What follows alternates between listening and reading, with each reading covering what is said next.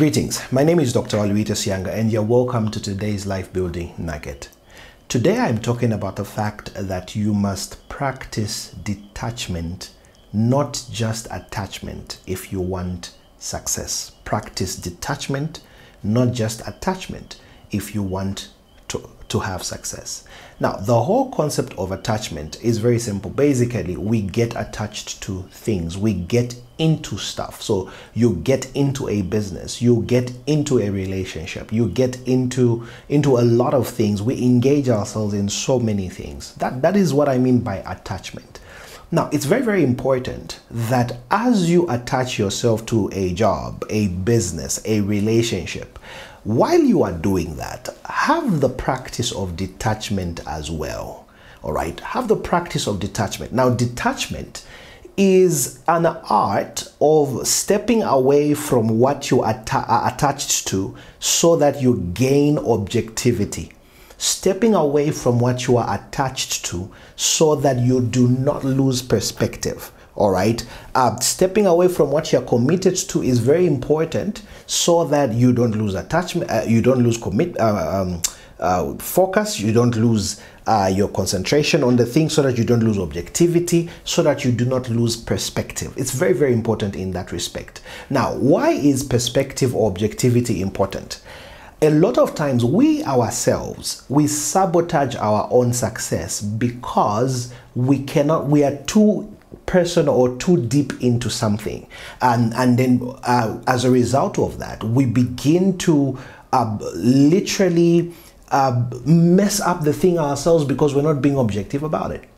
Uh, let me give you three examples. Example number one i will give you is uh, we must learn to uh, detach ourselves from things that we are personally involved with. I'll give an example of, um, say, a relationship. You are involved and you are in love with this person.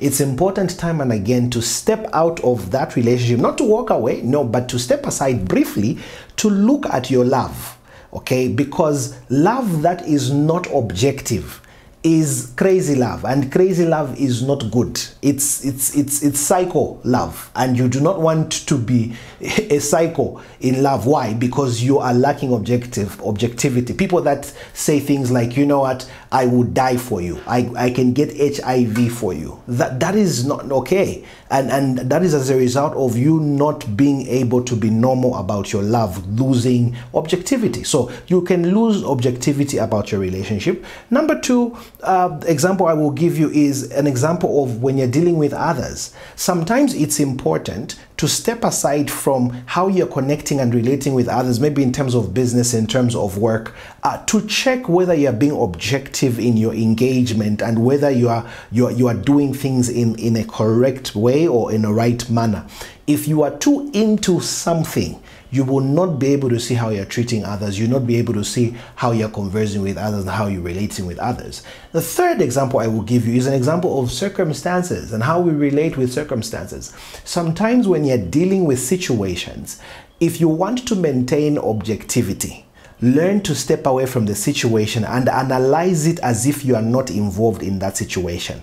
Analyze it, analyze it, and think through it, and you will find that in that way you are very, very objective as you are dealing with situations. So, yes, we must attach. Yes, we must be committed. Yes, we must be into stuff. But time and again, come out, check it, look at it. Is what I'm doing objective? Is what I'm doing in perspective? Is it normal? And then you can come back and continue with your commitment that way. So the practice of detachment and attachment and detachment and attachment continuously is what produces undiluted and uncorrupted success. This is Dr. Walubita Siyanga. God richly bless you.